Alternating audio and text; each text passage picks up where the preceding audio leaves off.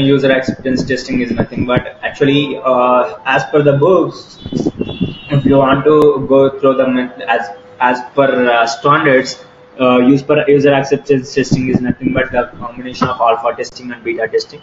Alpha alpha testing is nothing but if you test the application means if they test the application in company environment in front of the customer that is called alpha testing beta testing is nothing but you are testing the application in client's place nothing but live environment in front of the customer. That is called beta testing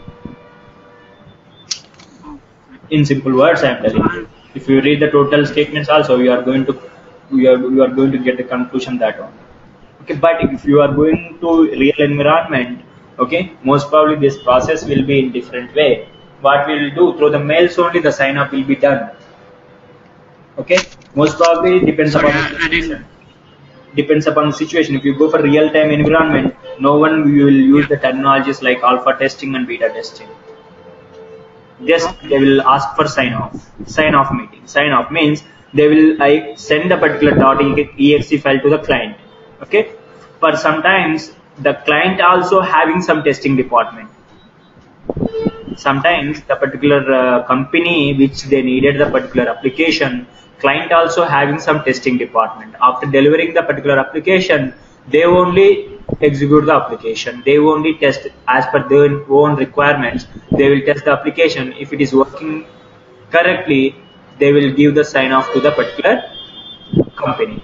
And they will transfer the amount from their account to these, these many people these uh, people account okay that is the process will be going on in real time actually. Okay don't tell uh, in the companies if you are attending any interview don't tell then tell the terms or don't uh, involve in the terms of alpha testing and beta testing.